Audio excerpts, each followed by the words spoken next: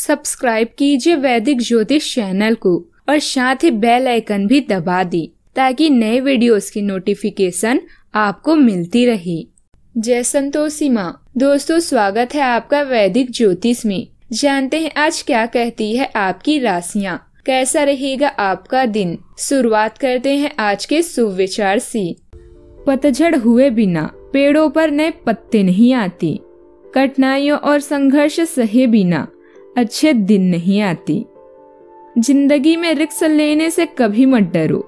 या तो जीत मिलेगी और हार भी गए तो सीख मिलेगी। आनंद में वचन मत दीजिए, क्रोध में उत्तर मत दीजिए और दुख में निर्णय मत लीजिए। आज का पंचांग, सात मार्च 2020 दिन शनिवार। फागुन मास के शुक्ल पक्ष की द्वादशी तिथि। सुबह नौ बजकर उनतीस मिनट तक रहेगी। इसके उपरांत त्रयोदशी तिथि प्रारंभ हो जाएगी। पुष्य नामक नक्षत्र सुबह नौ बजकर पाँच मिनट तक विराजमान रहेगी। इसके उपरांत अश्लेषा नक्षत्र प्रारंभ हो जाएगी। आज का राहु काल, अर्थात अशुभ समय, सुबह नौ बजकर सोलह मिनट से दस बजकर चवालीस मिनट तक रहेगा। आज का भी जीत मुहूर्त अर्थात शुभ समय। सुबह ग्यारह बजकर उनचास मिनट से बारह बजकर पैतीस मिनट तक रहेगा। आज चंद्रमा कर्क राशि पर संचार करेगी और आज सूर्य कुंभ राशि पर रहेंगी। तुला राशि, सात मार्च 2020 दिन शनिवार। अपनी नई सफलता को दूसरे लोगों के साथ शेयर करें। उनसे भी जो आप पर निर्भर हैं। अभी आप भाग्यशाली महसूस कर रहे हैं। सावधानी से नेटवर्किंग करें और सुनिश्चित कर ले कि कौन आपका दोस्त है और कौन दुश्मन। उन रिश्तेदारों के साथ समय व्यतीत करें जिन्हें आपकी ज़रूरत है। आपका मूड आज खुशनुमा रहेगा। लोग आपकी तारीफ़ करेंगे और मदद करेंगी। नम्रता के साथ थोड़ा धीरज आपके काम को और भी आसान बना सकता है। खुद पर और दूसरों पर विश्वास करना आज का मंत्र है। शांत पर लक्ष्य साधो, अगर आप चूक भी गए तो आपका निशाना तारे पर तो लग ही सकता है।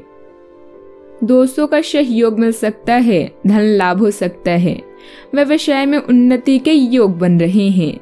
निर्णय लेने के लिहाज से आज का दिन आपके लिए काफ़ी अच्छा है। किसी पुराने मित्र से मिलने का दिन है। आज आप आत्मविश्वास से परिपूर्ण रहेंगी। आज का दिन आपके लिए खुद को किसी बंधन में पाने जैसा होगा। आप पर हो सकता है चोरी का आरोप लग जाए, लेकिन आपको किसी भी तरह से हार नहीं मानना है। निराशा को अपने ऊपर हावी न होने दी। किसी भी तरह से अपने आप को मोटिवेटेड और उत्साहित रखें। सावधानियाँ अच्छा आपका जीवन साथी के साथ झगड़ा हो सकता है। धनहानि हो सकती है। कोशिश करना चाहिए कि माता के साथ संबंध अच्छे हो, क्योंकि हमारे जीवन में माता पिता का आशीर्वाद बहुत आवश्यक है।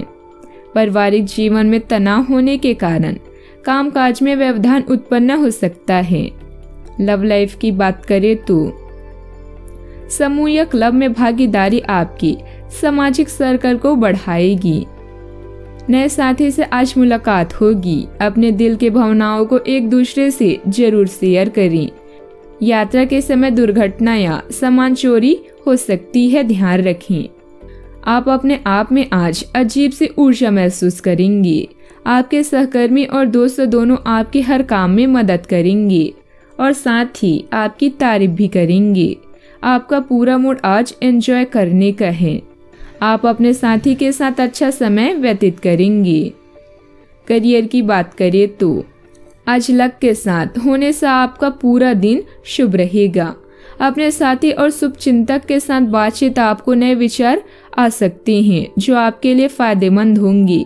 किसी समूह या सोसाइटी में शामिल होकर आप इन पलों को एंजॉय कर सकते हैं। पेशवर रूप से आज आप खुद को दुनिया के शीर्ष पर महसूस कर रहे हैं। लेकिन ऐसे में आपके अहंकार में भी बढ़ोतरी हो सकती है। आपकी सभी योजनाएँ पूरी हो सकती है। और आप खुशी महसूस कर रहे हैं। एक नया रिश्ता बनने के भी आसार हैं। खुद पर और दूसरों पर विश्वास करना ही आज का मंत्र है। सेहत की बात करें तो आज आप तनाव को काबू में रखने की कोशिश करें। आप पाएँगे कि ब्लड प्रेशर बढ़ने का कारण टेंशन है। और यह वही समय है जब आप ब्लड प्रेशर को बढ़ने से रोक सकते हैं। बढ़ता तनाव आपकी सेहत और ज़िंदगी को प्रभावित कर सकता है, जिसे आप देख नहीं पा रहे हैं।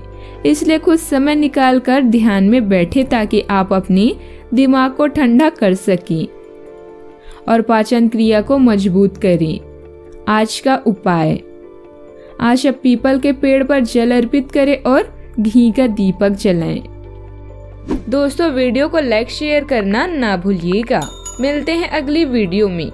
आपका दिन शुभ हो।